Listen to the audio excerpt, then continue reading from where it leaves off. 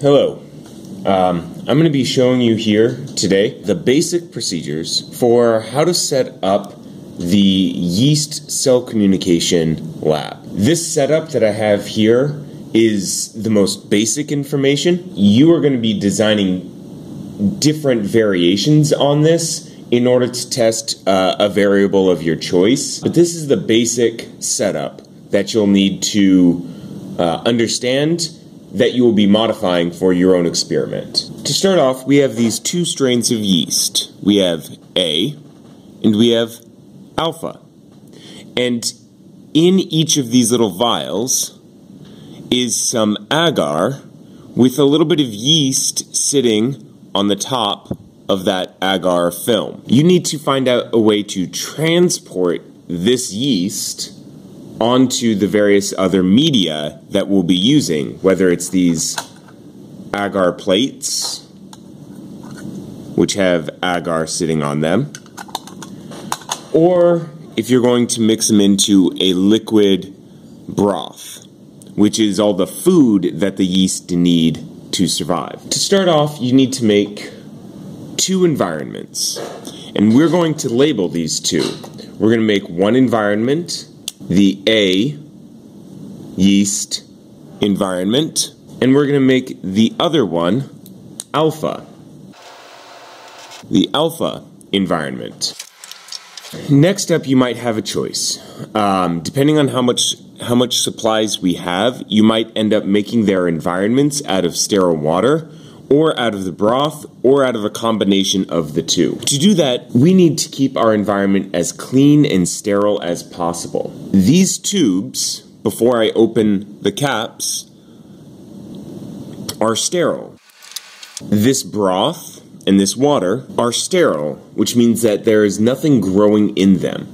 But as soon as we start opening the tops, as soon as we start putting uh, even sterile pipettes in them, they're going to start to carry various bacteria and wild yeast from the air around us into them. So if we do this uh, after about a day of all the students in the classes doing using these materials, these are no longer considered sterile. We can try to prevent the contamination for as long as possible, which is why I have a clean setup I just recently laid down this piece of paper, which I have my pipettes and materials on. Um, it'll stay sterile for a little while, but slowly uh, stuff will fall down onto them. So to s- start off, I'll take one of my pipettes and I'm gonna I'm gonna make my environments out of sterile water, uh, but you might use the broth uh, to make your initial environments. I'm gonna open up my test tube, open up my water, take my pipette, and as I pull up, it may be hard to see, but I'm going to go right up to the edge. I'll show you in a second. Right up to that corner, right there. That that corner of the pipette right there is one milliliter.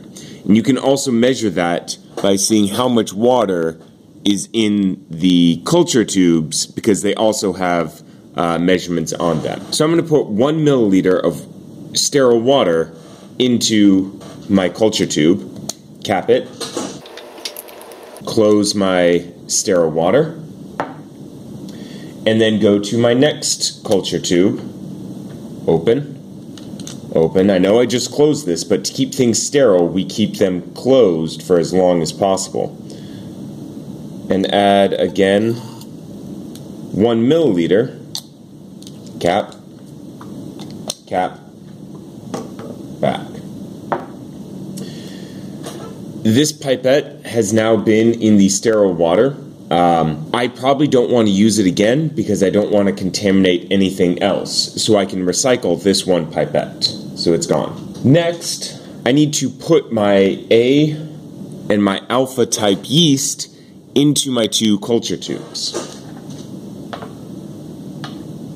To do that, I'll take some toothpicks, take one sterile toothpick. Nope, I grabbed two, so I'm going to toss the second one aside, so I only have one. Because uh, anytime you touch these toothpicks, they no longer become sterile. So I'm going to take this toothpick. I'm going to open up my A type yeast. Now, the tricky thing here is that yeast is sitting on the top of the agar. And these are microorganisms, they're extremely small, and all you have to do uh, is reach in with your toothpick, wipe lightly across any of the white smeariness, don't stab into the agar, and now you have millions of yeast on this one toothpick. You can't see them, you won't be able to see them uh, because they are microscopic. So I'm going to close up my yeast, take my A tube, and take the toothpick, put it directly in, so it's all the way in there, cap it, and then I'm just going to shake it up for about a minute. While one of my other partners continues to shake that up, I'm going to do the same thing with my alpha tube. Grab the alpha yeast, grab a new sterile toothpick, and again, I'm just going to stick it into the tube, wipe across the white slime, just very lightly, drop it into my tube, cap, cap, shake, and stick it in. And that's all you have to do to set up your initial environments. Okay, so after shaking these both up a little bit, I have two culture tubes. One is growing with A type yeast mixed into that liquid. The other one is growing with alpha type yeast mixed into that liquid at the bottom. Now, depending on my experiment, I would want to do something with these yeast. Um, if I were testing something such as how many shmoos grow in different uh, broth concentrations. Um, I might add the broth directly to these culture tubes. Um, if I'm testing different temperatures, I might put these culture tubes um, into some other environments. Uh, but this is my initial setup. From here, I can use this liquid, which is in both of these tubes. I can use that liquid, which is full of yeast, to set up other experiments.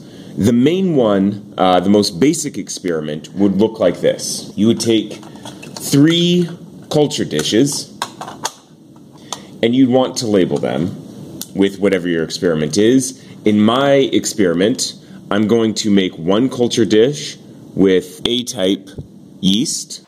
I'm going to do another culture dish with just alpha type.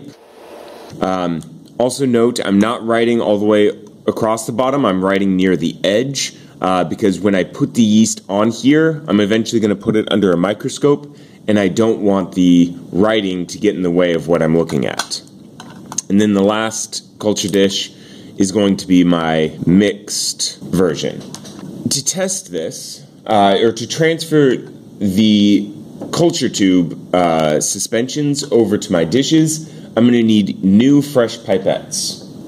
And I'm going to start with my A-type yeast. And I'm going to pull up some of the liquid, which has the yeast in it, cap the culture tube so it doesn't stay uh, mixed up. And I'm just going to take a drop of this liquid right into the center of my plate and leave it there. And then since I'm also going to be doing mixed, I'm also going to put a drop of mixed right in the center. And then for my next culture, I'm going to take the alpha tube, open it up, grab, suck up some of the water there, cap, and I'm going to put it on my alpha type, just put a couple drops, and then for my mixed, I'm going to put that same liquid in the same spot where I put the other liquid and cap it up. Now this liquid is done, can be set aside. That uh, pipette is contaminated, and so I don't need to use it anymore, so I'm going to set it off to the side. Now I have my A-type culture, my alpha type, and my mixed. Um, if I were to do something like measure distance, then I could put where I put the drop of liquid with the pipette, I could put a drop of A here, alpha next to it, and measure the distance between the two to measure how far apart they are. I could even do multiple distances on the same plate. And when you put them on a plate, that liquid drop, which I don't know if you can see it right there, stays in one place. So that's the way I can measure distance without having things get all mixed up like they would in a culture tube. Once you get your plates set up, you can stack them. Make sure they are uh, labeled originally with your uh, initials or group name, and then you go place them in the incubator uh, to wait. Now, they have to be incubate for one to four hours. Most of you will not be able to actually get this done in one class period. You might have to come back during lunch or come back at the end of the day. Um, if you wait until tomorrow, the yeast will be overgrown and you won't be able to get any good data. So I'm going to go put these in the uh, incubator for an hour and then I'm going to come back to measure. Okay, and now we're back. Um, if you look at them, you will see nothing. These are microscopic organisms. They're still too small to be able to see with the naked eye. So, in order to make our measurements, we're going to have to uh, put them underneath uh, a microscope over here. And we can't just put them directly on this microscope stand uh, because we don't want the agar and the yeast cultures to touch uh, the nose pieces of the microscope. So instead, we're going to use these little plastic cover slips. Um, now, be very careful with this box because as soon as you open it, uh, the cover slips are very, very lightweight and they can spill and fall out. And as soon as they fall on the ground, they'll start picking up dust and uh, they'll completely mess up your the rest of your experiment because you won't be able to see past the dust to count the yeast. So be very, very careful with this box. You can open it up. And again, just like with everything else, you want to keep these as sterile as possible. So you only want to touch them around the edges. So I have this one here. I'm going to make sure I cap my box of cover slips to prevent them from going all over the place. Now I have this cover slip. There's a piece of paper, which I will carefully remove. And now I'm going to take this very clean cover slip and I'm going to place it onto the center of where I placed the yeast cultures before. So I'm going to place it at an angle and then let it fall to the side. And that way it pushes out any of the air bubbles that are there. So now I have, I don't know if you can see that very well, I have a cover slip sitting in the middle on top of the agar plates. And now I'll be able to put them underneath the microscope, turn it on. Um, the only way you're going to be able to make counts is if you use the blue uh, nose piece, which is the most powerful. Um, and it's going to be very delicate when you actually make your measurements. Uh, the cover slip is going to be pretty much right up against the lens of that blue IP or uh, blue nose piece.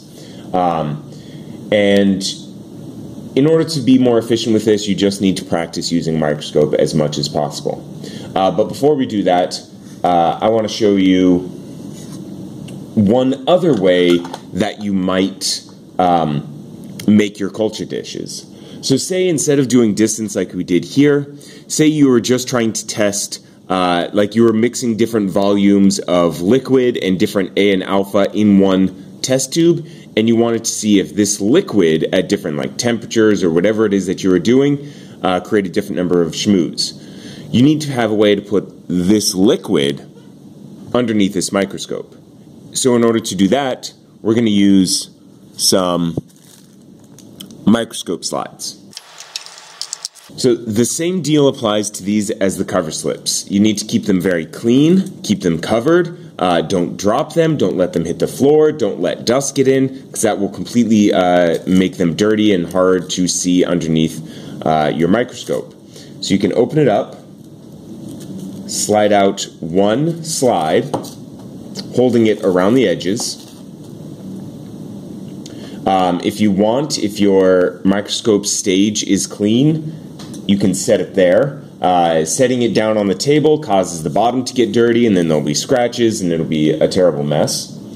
You can then take your culture tube, take another clean pipette, stick it in there, and now you just want to put a tiny little drop of liquid, not a lot at all. One little drop of liquid is all it takes. There will be um, thousands of yeast in that one drop Go back to your cover slips, again, being very careful not to drop these. Take a single cover slip out, being careful not to uh, touch the sides or not touch the center. And again, you're going to place this, just like we did with the other one, at an angle, and then just let it drop onto that drop of water. Go back, cover your cover slips back up, set them aside, keep it all organized.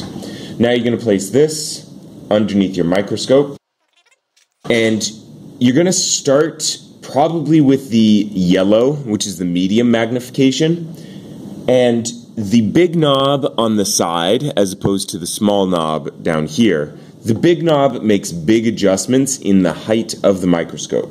So you want to bring it up fairly close and then start looking through the eyepiece until you can make out some details. Once you can make out details, slide this uh, nose piece over to the blue one, and now you're going to want to either just use the small fine adjustment, or if you're going to use the uh, big adjustment, you're going to be making movements that are so small you wouldn't even be able to see them. Um, so mostly focus on the fine adjustment uh, piece and zoom in until you can see. One last trick is right along here is a wheel which uh, changes. It has different sized holes and it changes how much light can actually go through. The less light you have, the easier it can be to see.